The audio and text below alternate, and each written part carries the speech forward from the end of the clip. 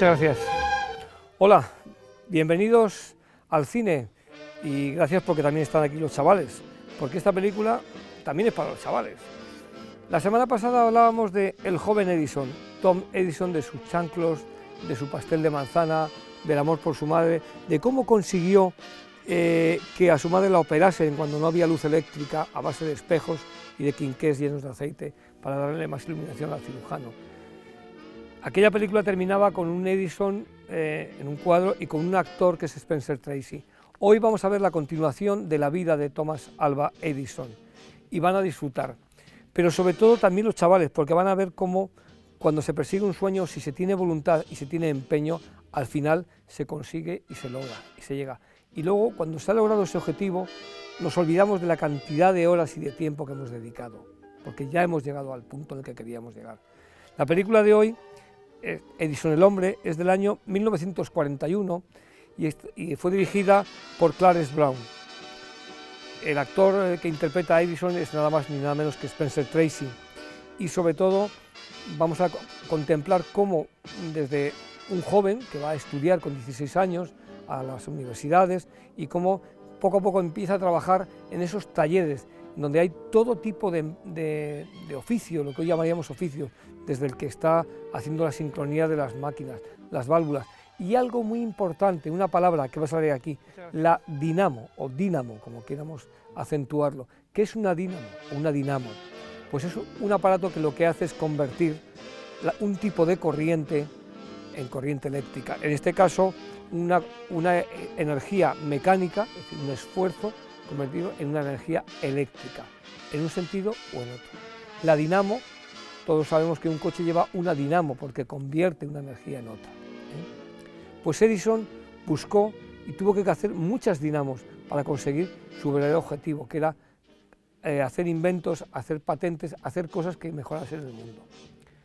La película les va a mostrar cómo muchas veces esos inventos no llegan a la primera ni a la segunda, sino que se tardan años en conseguirlo. Incluso hay momentos en, los cuales el ser humano cae en la verdadera desesperación, porque no consigue encontrar lo que quiere. Hoy en día nos hablan de los viajes interplanetarios o viajes a la Luna o a Marte, y nos parece lejísimos, pero hace 50 años parecía imposible. Dentro de unos años nos parecerá normal que una nave espacial vaya a Marte, porque alguien habrá conseguido domesticar, si me permiten, crear, eh, impulsar una ciencia, una innovación que permitan esos desarrollos. En la película de hoy, que es, repito, continuación de la del joven Edison, dirigida por Clarence Brown, un director que luego diremos después dirigió, entre otras, a la mítica Greta Garbo, y por Spencer Tracy, que ya a estas alturas había sido eh, ganador de los Oscars, que también lo citaremos después me gustaría que antes de ver la película y de que disfruten con sentirse por dos horas inventor, de, emocionarse con cómo va consiguiendo los avances y cómo tiene que esconderse muchas veces de los acreedores, porque por desgracia lo que hoy muchas veces nos dicen de que la ciencia nunca está bien pagada y que no se gasta todo lo suficiente en investigación o lo que llaman ahora I más D I, eso también pasaba en el siglo XIX o, en los albores del siglo XX y sobre todo la pugna, las pugnas con esas compañías del gas que, impedían y no querían ningún tipo de invento nuevo, invento nuevo perdón, que les pudiese quitar lo que era su negocio. Que disfruten y que se sientan por dos horas inventores con Edison el hombre.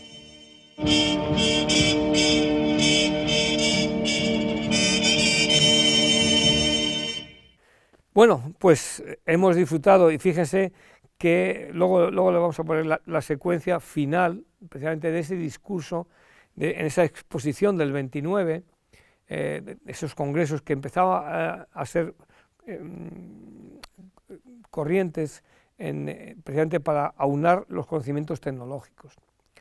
Hemos visto una película que nos ha hecho transitar por la vida de un hombre de un soñador, de un inventor, luego hay dicen que hay alguna cosa que no fue realmente así, probablemente esté idealizada esta versión, en, donde la sociedad norteamericana estaba a punto de entrar en la Segunda Guerra Mundial, y de hecho hay un mensaje final que nos hace ver que hay un peligro con el tema de, emplear todos estos inventos que hemos visto, el fonógrafo, eh, esa, cinta como, cinta como de papel aluminio que es para grabar los y registrar los sonidos, eh, cómo ha conseguido la bombilla eh, hacer el vacío en un tubo, con cuántas, cuántos mecanismos de prueba y error ha hecho.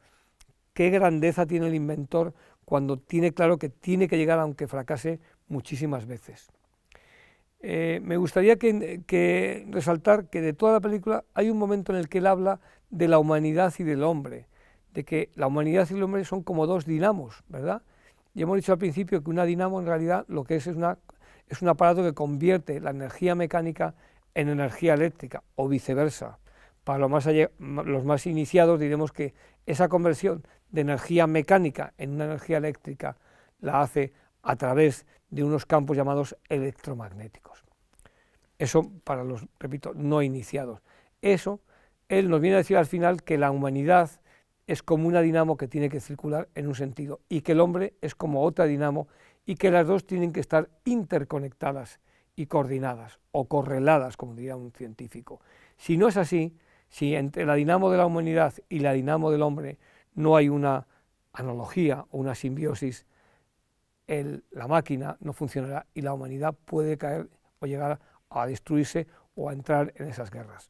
Lo dice perfectamente en este discurso final, que además tiene la delicatesen de contarnos cómo la entrevista una joven unos jóvenes periodistas y cómo él está con su vaso de leche y su pastel de manzana. Siempre recordamos a nuestras madres.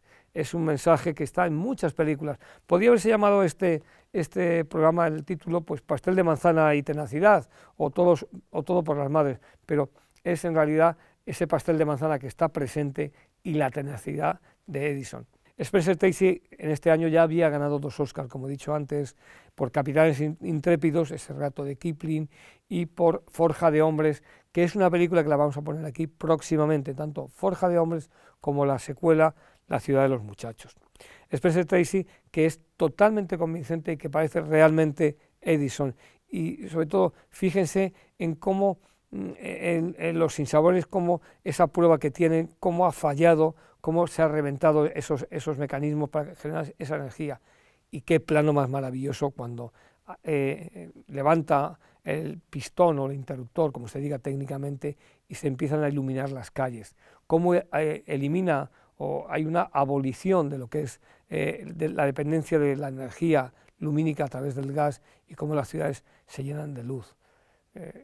Cuando acaba ya de muy mayor, y yo ya soy muy mayor para esto, hablamos del año 1929. En 70 años este hombre vio un cambio eh, eh, espectacular de la tecnología, pero fíjense nosotros los cambios que hemos visto como hace 40 o 50 años, probablemente eh, la gente no podía sacar dinero ni desde un cajero ni desde su casa, sino tenía que ir al banco, firmar un cheque o un papel y esa firma había que validarla. Incluso llamaban por teléfono para comprobar si eras tú realmente. Es decir, lo que la tecnología nos está dando es esa, repito, esa dinamo que mueve al hombre. ¿eh? Otra cosa es que si esas dos dinamos, la del hombre y la de la humanidad, no van asociadas, podemos entrar en una época que sea tan digital que se olvide del hombre, o tan poco humana que el hombre sea una parte de la máquina. Creo que hemos disfrutado con esta película, le vamos a dejar con unas secuencias que pienso que son antológicas y cómo él eh, empieza con el morse y con la telegrafía signos o con los golpecitos y cómo acaba diseñando montones de patentes que serían de él o serían de sus añadidos, y cómo ese concepto de taller, del lugar en el que se hacen las cosas. Les dejamos con unas secuencias y con nuestra dinamo y su dinamo para que estemos, sigamos estando siempre en correlación o en analogía. ¿Qué pasa, querido? Estoy preocupado. ¿Por las dinamos? Supongo que fallan. No fallarán. No lo dirías hace un rato. Ojalá tuviera tu confianza. Ojalá yo tuviera la tuya. Eh, Tom. Un minuto para las siete. Exactamente. Recuérdame que te dé un beso dentro de un rato. Y ahora vamos, no estorbes. ¿Todo listo, chicos? ¿Preparado? Pues adelante con ello. Jefe. A ver, número uno. Tranquilo. Despacio. Ahora.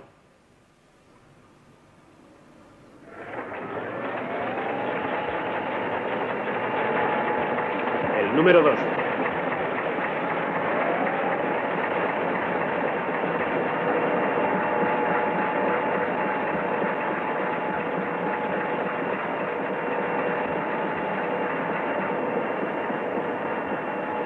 Bien, conectad en paralelo. Adelante. ¡Hurra! Eh, tranquilos, tranquilos. Vigila los alimentadores.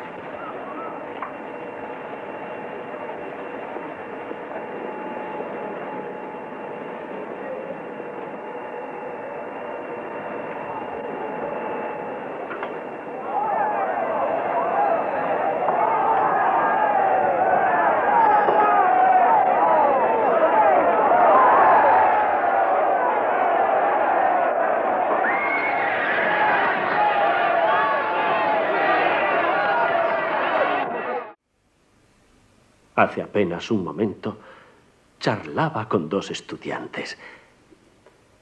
Mañana el mundo será de ellos. Un mundo inquieto, lleno de dudas e incertidumbres. Dicen que los hombres de ciencia hemos ayudado a que sea así. ¿Aprobarían esos chicos y sus hijos lo que nosotros hemos hecho? O descubrirán demasiado tarde que han confiado en exceso en la ciencia y que ésta se ha convertido en un monstruo cuyo triunfo final es la propia destrucción del hombre. Algunos estamos empezando a presentir ese peligro, pero aún se puede evitar. Yo tuve una vez dos dinamos necesitaban regulación. Era un problema de equilibrio y de ajuste.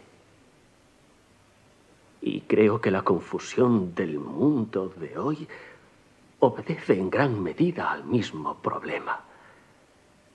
La dinamo de la simple ingenuidad del hombre está arrastrando a la dinamo que representa su propia humanidad. Yo ya soy demasiado viejo para hacer mucho más que decir equilibrar esas dos dinamos. Hacerlas funcionar en armonía como el gran hacedor quería que funcionasen. Eso es posible. Lo que la mente humana puede concebir, el carácter humano lo puede controlar. El hombre debe aprender eso. Y entonces no será necesario temer al mañana.